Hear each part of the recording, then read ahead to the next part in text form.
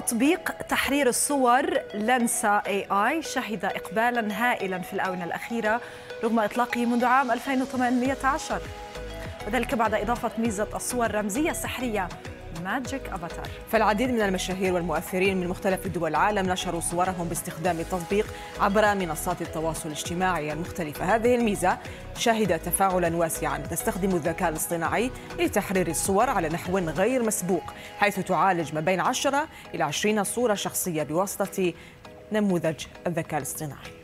عملية قد تستغرق نحو 40 دقيقة وفي مسعى منها لمعالجة مخاوف الخصوصية تقول الشركة التي أطلقت التطبيق أن صور المستخدمين الشخصية والنموذج ذي الصلة تحذف نهائيا من خوادمها فور إنشاء الصور الرمزية السحرية. إلا أن الخبراء يرون أن التطبيق ينتهك حقوق النشر وبحسب واشنطن بوست فالتطبيق يزيد مخاطر الاستغلال والتحرش خاصة وأنه يسمح لأي شخص بتنزيل صور أشخاص آخرين.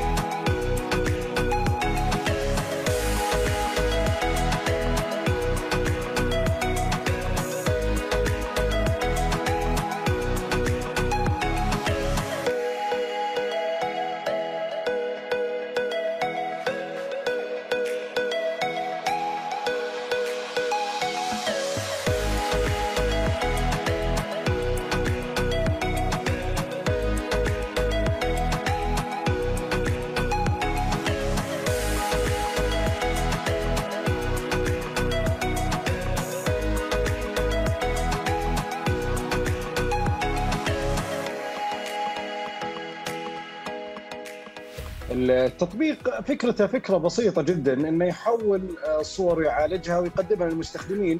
وفي تطبيقات كثيرة أساسا تقدم مثل هذه الخدمة باستخدام الذكاء الاصطناعي، يعني في تطبيقات أساسا موجودة مجرد ما تجي وتطلب منها بالكتابة مثلا تقدر تقول له احتاج صورة شخص مثلا جالس على كرسي يستمتع بالبحر يبدأ الذكاء الاصطناعي يبدأ يرسم لك. فتطبيقات الذكاء الاصطناعي لمعالجة الصور ما هي آه على قولتهم آه جديدة بالعكس هي تطبيقات قديمة لكنه كل تطبيق ياخذ رواج كل فترة لأنه يستخدم من قبل أشخاص معينين في منصات التواصل الاجتماعي ويفضلون الناس إنهم يقتدون فيهم ويستخدمون نفس التطبيق اللي هم قاعد يستخدمونه ويصنعون آه طب عبد الله فيصير في تفاعل ما بين المستخدمين من خلاله. عبد الله أنا من خلال الناس اللي على السوشيال ميديا لاحظت إنه الصور اللي نزلوها صاروا أحلى أشكالهم صراحة حقيقة. يعني كله صار أحلى.